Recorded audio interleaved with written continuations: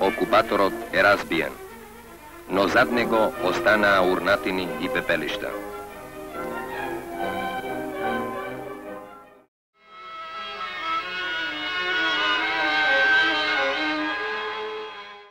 македонскиот народ и националните малцинства што живеат во Народна република Македонија во условите на полна слобода, сплотени во својата обшонародна масовна политичка организација Народниот фронт, начело со Комунистичката партија и другарот Тито, постигна големи успеси во доброволните работни акции.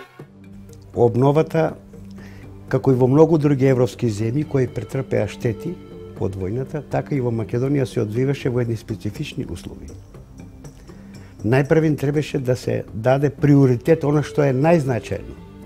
А најзначено беше обнова на стопанските и нестопанските објекти. Создавањето на, на органи на народната власт, институциите и незините институции и промена во поседовната структура во стопанството значи, на Македонија. Тука пред себе ги нагласил а, донесувај на тие а, промени Посебно би нагласил аграрната реформа и колонизацијата, национализацијата, потоа национализацијата на судбината со странскиот капитал. Вие знаете дека во Македонија доминантно беше учеството на странскиот капитал во македонското стопанство, посебно во индустријата и рударството. Понатаму се збива и на тие остатоци реакционерни кои во Македонија ги имаше, посебно од соседните земји, кои делуваа Меѓутоа, што се однесува до аграрната реформа, непосредно по ослободувањето, уште во август 45 година е донесен закон за аграрна реформа. Меѓутоа, тој закон, бидејќи Македонија беше аграрна земја, гладта, расположивата земја што беше, не беше во состојба да ја задоволи гладо за земја што ја чувствуваа македонските селани. И како дополнителна мерка, како ублажувачка мерка, представуваше колонизацијата Така што од периодот од 45 до 48 година се изврши колонизација на преку 80.000 македонци кои беа колонизирани претежно во Војводина. Вие знаете и денеска тие се таму, претежно во околината на Белград, Панчево, Јабука, Канчарево, Глоговас и други населени места. И а, на тој начин а, требаше да се ублажи гладот за земја. Понатаму, национализацијата. Донесен е закон 46 година декември. Целта беше да се ограничи собственост.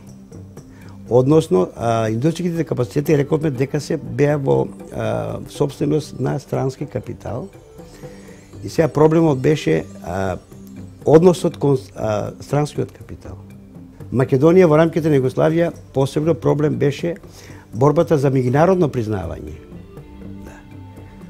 и затоа под удар не беа ставени имотите на на странскиот капитал, посебно на големите сили, и затоа а, тој проблем не беше поставен одма, не беше ликвидиран странскиот капитал во Македонија.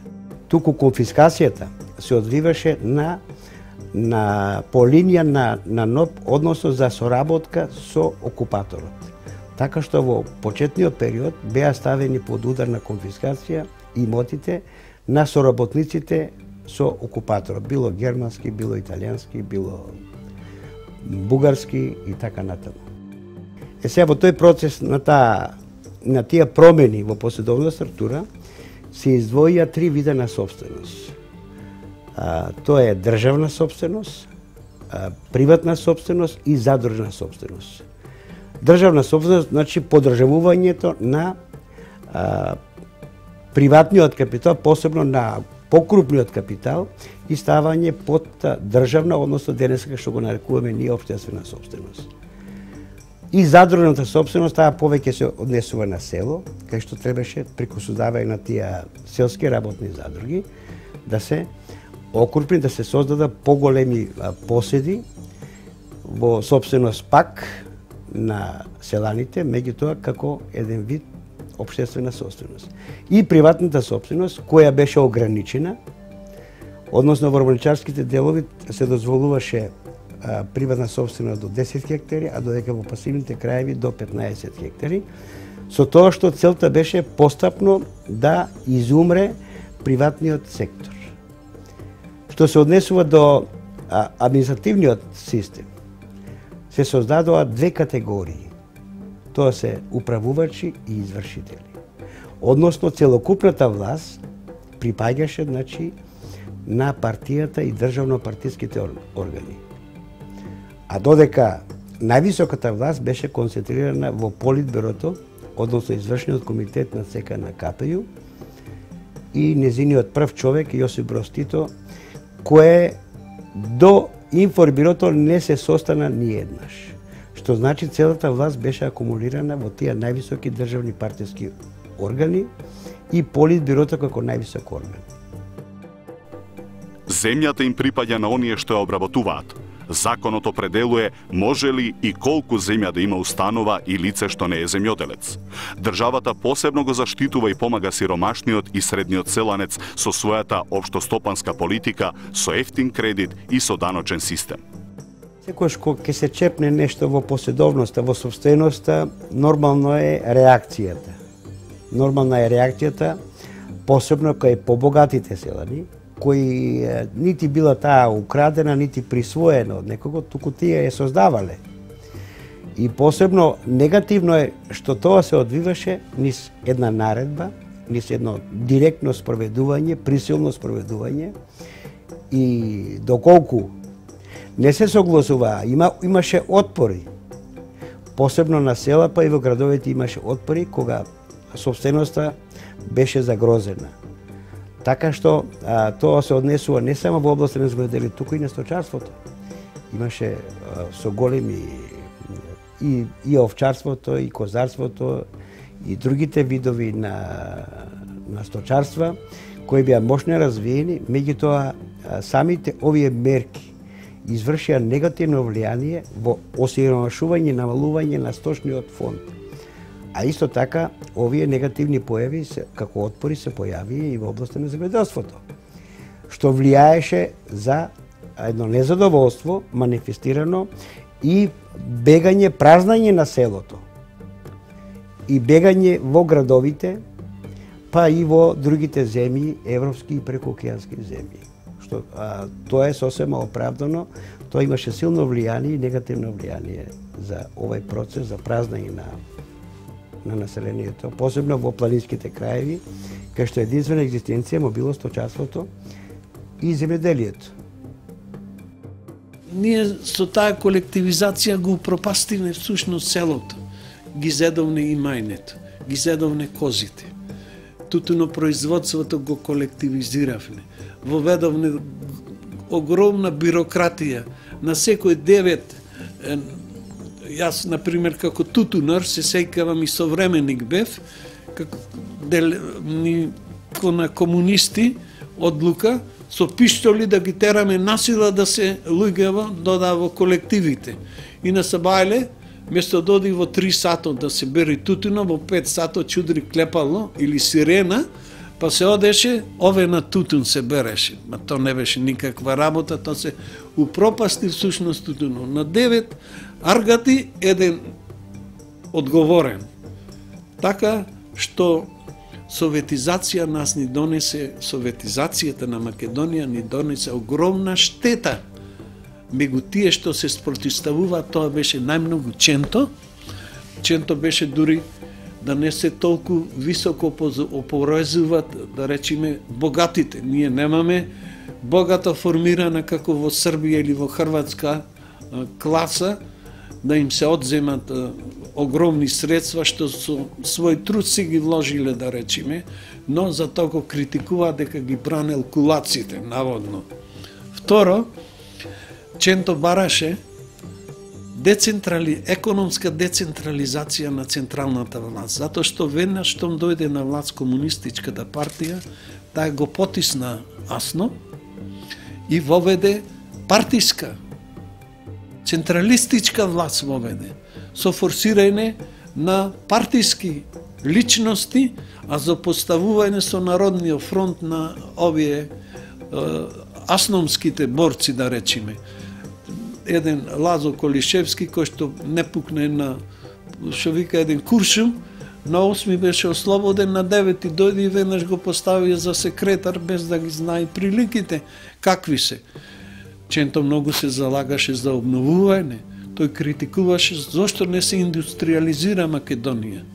Зошто опиумот, тутунот, зошто макот вика девизите ода во Белград, а не ода во наше кесе.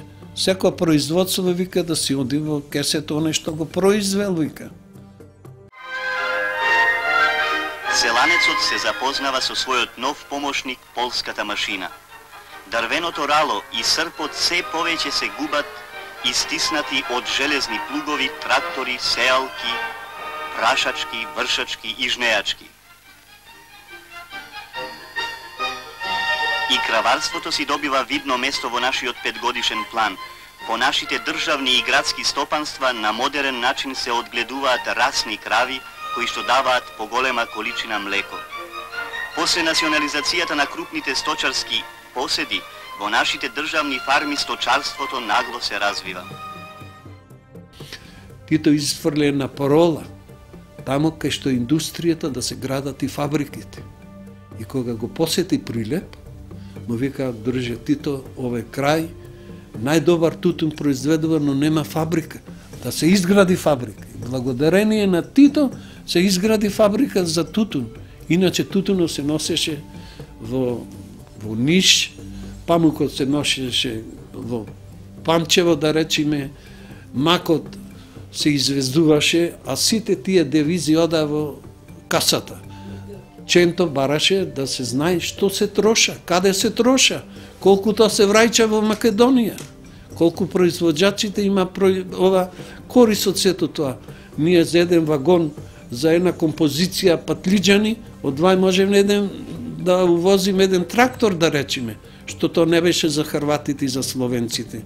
Дури една демагошка парола се фрли да се форсираат сега развиените земји за да можеле утре тие на посиромашните наводно да им враќаат тоа ветарово магла беше затоа што беше една навистина експлоатација од нација на нација. Ние такви сировини, кајси, патлиџани, едно сето друго дававме, а индустријски се произведуваше токму во тие развиени земји. Кога виде каква е, дека е од секаде од странуван од власта, по критиката на Лазо, тој си, зад, си даде оставка и си се врати во Прилеп. Во Прилеп си го отвори дујкенот, меѓутоа под присмотра беше на овие на полицијата која се стално известуваше за неговото движење. Тој немирен, везден, Дујчено беше дебатен план кај што се дискутираше за обединета Македонија, во какви услови е, со какви методи сега може заради ваквите услови да биде таа обединета или необединета. На крајот му измислија дека сакал да бега во странство и на тој процес му инсценира работи кои што тој Нивосоно ги совнувал, а камо да ги правел кога ќе побегне во, а, во Америка или чодел во Париз на ова конференцијата 46-та година и се чувствуваше за невиновен, но директивата беше таква за да треба да се осуди.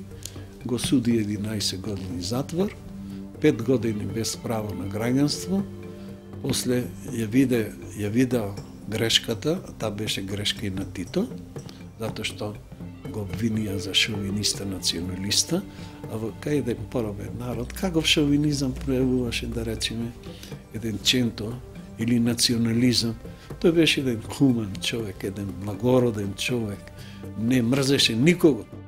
Но бидејќи се разболе од рак, тој три години пред додржување на казната го пуштија и почина.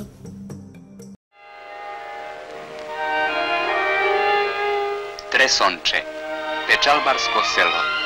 Тако е било забележено у старим учбеницima географија. У нашој географiji оно носи име Сеоска радна задруга Лазар Колишевски.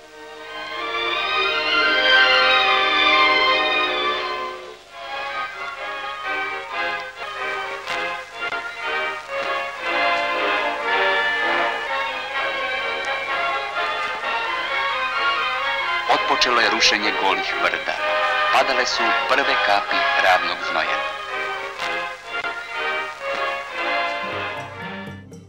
Обновата траеше до 47 година.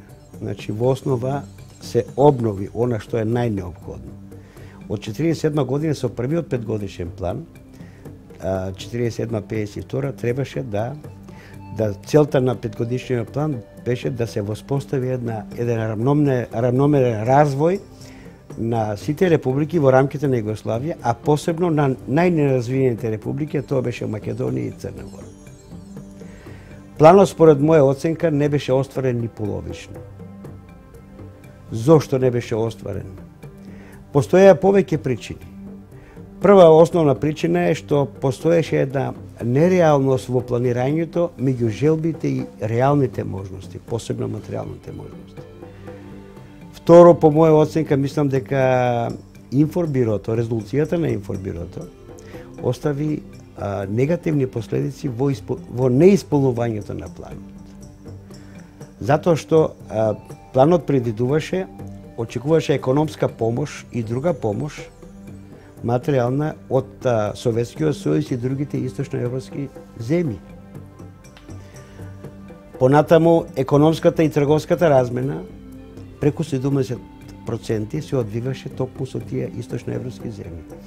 И резолуцијата од 28 и 48 година практично пресече, а, се изврши целосна блокада, не само економска, туку и политичка, воена, дури постоеше целосна блокада не на Македонија, туку на Југославија во целина, дури се правеа обиди за, за агресија на Југославија, која како непослушна требаше да биде казнета.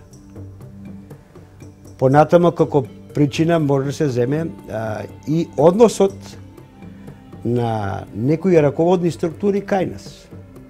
Пример, Лазар Количевски беше највисока личност тогаш во тогашна Македонија, Народна република Македонија, кој како заштеда од средствата издвоени се под годишниот план, околу 35% точно, не знам, меѓутоа како заштеда ги враќа на федерацијата. Понатаму требаше да се изгради а, од заедно во рамките на Металски завод Тито и каросерија 11 октомври, фабрика за трактори, машини и други возила, а Кулишевски ги остапи на Србија.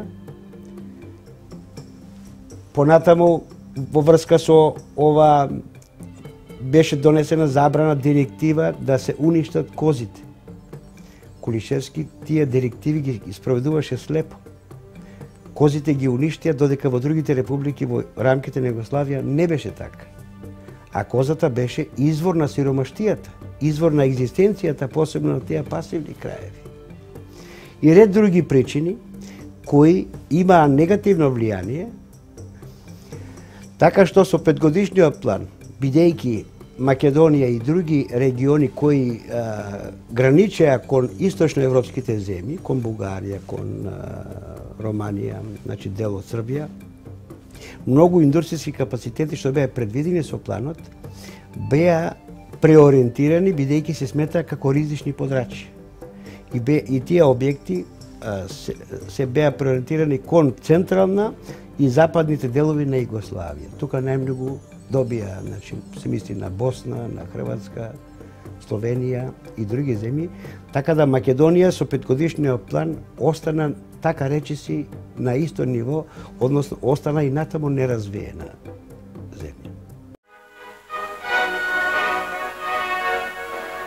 тие денови од сите краишта на Републиката пристигнаа делегати, цврсто уверени дека вториот конгрес на Народниот фронт ќе ја изрази решеноста на широките народни маси да ги вложат сите сили во исполнувањето на задачите од петгодишниот план и социјалистичката изградба на земјата.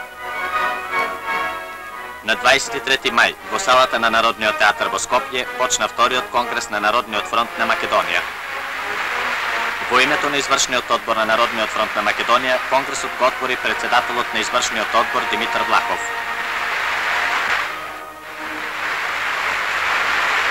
После поздравните говори на делегатите од другите братски републики за политичко-стопанската положба кај нас, одржа реферат председателот на владата на Народна република Македонија Лазар Колишевски.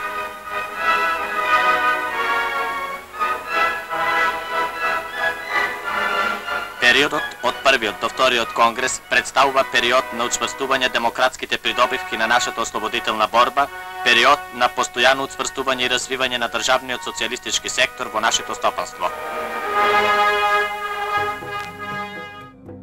Имаше спротиставени гледишта. Јас посебно би го извел гледишето на, на Едвард Карден, кој сметаше дека на Македонија не и треба индустријски развој, да Македонија може да се задоволи само со земјоделие и сточарство, под изговор дека Македонија нема кадрови, кадровски потенцијал да го изведе тоа. Меѓутоа тука е значајно ставот на Тито кој пресекува и би го цитирал со зборовите нема да се ценкаме со македонците. Македонија на вистина е неразвиена ќе им дадеме 5,5 милиарди динари од тогашна вредност. И како резултат на на таа донација од 5,5 милиарди динари се изградени значајни индустријски капацитети кои ден денеска имат огромно значење.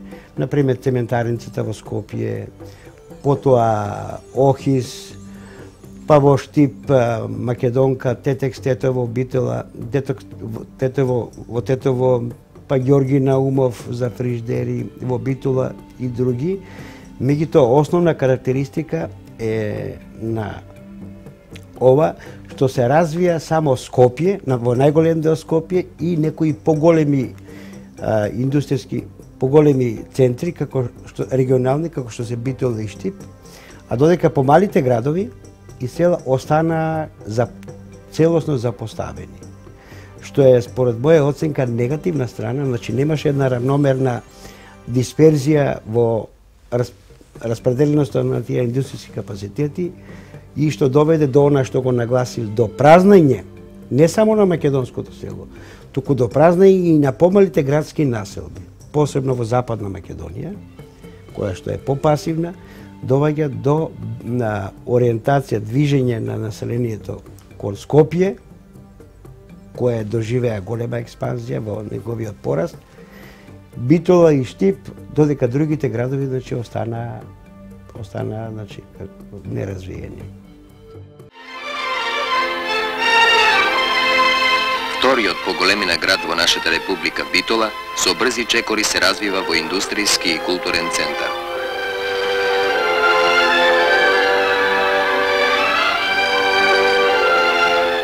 Старинскиот дел на градот постепено ќе се измени. Во текот на понатамошната изградба на Битола, овде ќе се подигнат нови модерни згради, широки улици, плоштади, фабрики, училишта, болници, пространи градини за подобар живот и работа на самите градители и на нивните поколенија. За неполни 6 години обнова и изградба, во годините на првиот Титов петгодишен план, во Битола се изградија маса објекти новата термоцентрала со чија погонска снага заработеа и новоизградените фабрики.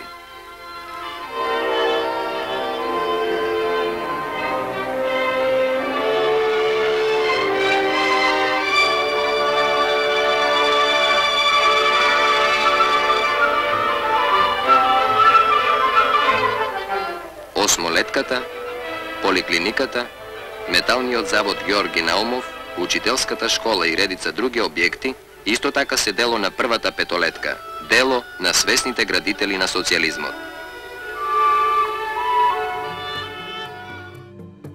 Во поглед на создавањето на, на образовен кадар, на вистина, уште непосредно по ослободувањето, почна да функционира високото образование, средното образование, стручните школи, средни.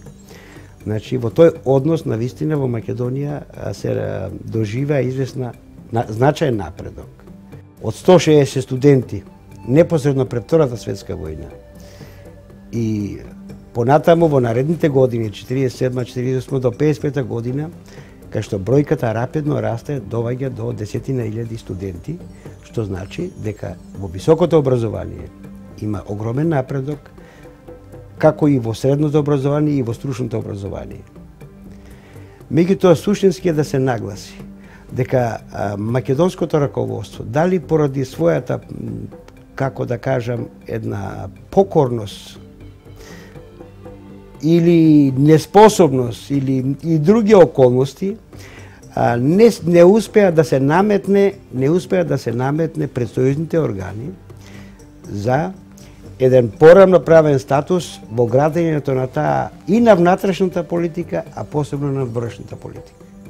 Во градењето на таа политика не успеа, не успеа да, да се наметне за еден позабрза развој, може би тоа е и резултат на таа севкупна југословенска политика која што се водеше, меѓутоа јас сепак мислам дека тоа е и една негативна страна на нашето македонско раководство и државно и партиско кое не се наметна или поради својата неспособност или неумешност не успеа да создаде услови за еден, за еден напредок.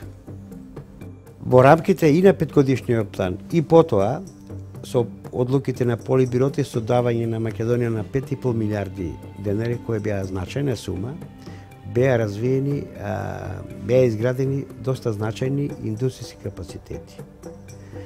Меѓутоа, основно е да се одбележи во, та, во тој економски, стопански, индустријски развој, претежно се одеше на развојот на, на рударството, на тешката индустрија и текстилната индустрија додека многу помалку внимание се обрнуваше на другите индустријски гранки, кои имаа сировини за, за развој на таквите индустријски гранки. Нормално, текстилната индустрија, како една од најнедоходовните, доби најшироки димензии распространеност во Македонија. Да земеме само Вострумица, Штип, Тетово, Битола и други места – Понатаму рударството исто така му се даде значено место во развојот и на тешката индустрија. Но гледано во целина, а, немаше една равномерна застапеност на сите подрачја, на сите региони во Македонија. Ги кажав оценките за тој административен социалистички систем, во која целокупната власт нагласив дека е во раците на тие државно партиски највисоки органи, која не даваше иницијатива, не мотивираше за еден напредок, за една... За... Меѓутоа и самото самоуправување, иако се појави од 50 година, па траеше до распаѓањето на Југославија до 91 година, тоа во основа, според моја оценка, негова карактеристика може да се сведе на советодавна улога. Макар што во тоа самоуправување имаше, се даваше една автономија во градењето на тие производни планови, значи, во рамките на предпријатијата од сојузно, републичко и локално значење. Меѓутоа, негативна страна е што тие, тоа самоуправување не одлучуваше околу распределбата на, на вишокот на вредноста, односно профитот.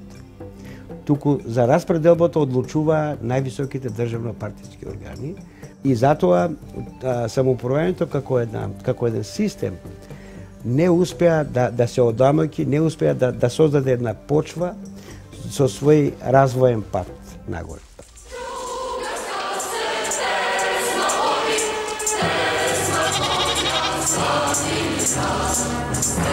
在冲锋。